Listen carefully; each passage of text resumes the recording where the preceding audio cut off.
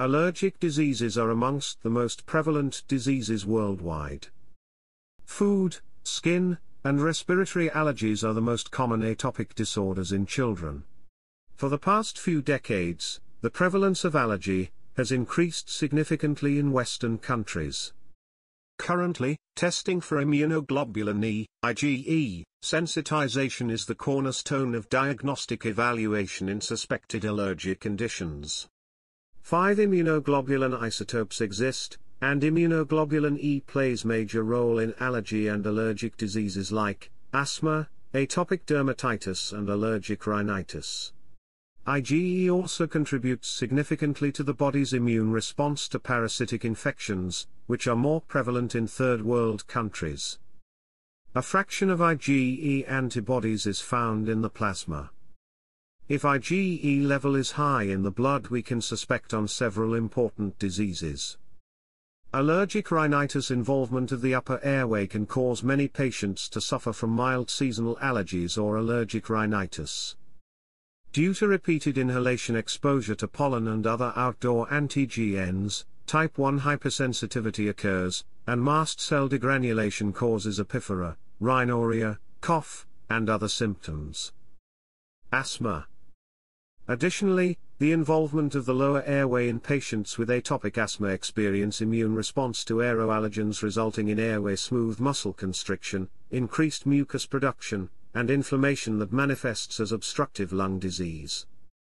Atopic dermatitis, also known as eczema, is an inflammatory skin disorder, which presents with dry and pruritic lesions on the flexure surfaces of extremities as well as head and neck areas. There are several hypotheses why allergic diseases increased last several decades.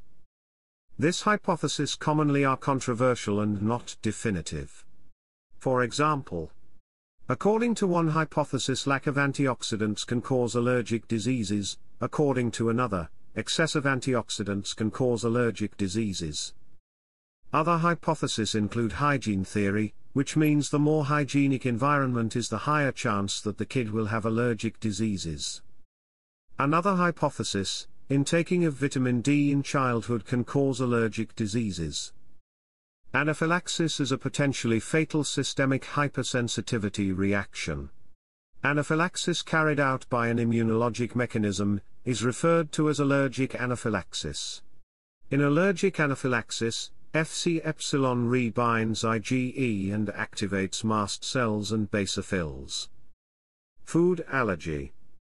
Food allergy is most commonly triggered by the IgE-mediated hypersensitivity reaction and presence with local or systemic symptoms that begin minutes or hours after the ingestion of the offending food. The proposed pathogenesis involves IgE production against normal food constituents, such as glycoproteins. IgE binds Fc epsilon RI and triggers the downstream signaling cascade, which leads to the production of increased levels of inflammatory mediators. These mediators, in turn, cause an inflammatory response and lead to symptoms involving the skin, gastrointestinal and respiratory tracts, eyes, and the heart, ranging from a mild to severe fatal anaphylactic response.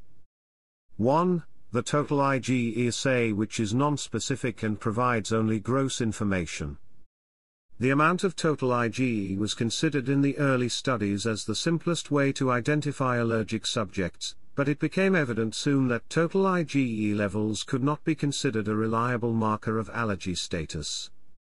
IgE levels significantly higher than the normal threshold, are usually associated with atopic disorders, but also with other conditions. On the contrary, low or normal values do not exclude the presence of IgE-mediated diseases. As a consequence, total levels of IgE should be carefully interpreted, and not considered as an indication for the presence of allergic diseases. Serum IgE concentration is largely age-dependent. Very low levels it increases with age up to teenagers. After this it starts slowly decreasing. Total serum IgE then declines from the second through the eighth decades of life. Very high IgE levels are observed in parasitic infestations. rarely in multiple myeloma patients producing IgE, and in some primary immunodeficiencies, e.g., immune dysregulation polyendocrinopathy enteropathy X-linked syndrome, IPEX, Omenn syndrome, Wiskott-Aldrich syndrome, Comel-Netherton syndrome, hyper-IgE syndrome and atypical complete DiGeorge syndrome. Allergic bronchopulmonary aspergillosis is the only clinical condition described to date, where the presence of high levels of IgE is strictly related to disease severity. Increased serum IgE levels can be seen also in a proportion of smokers.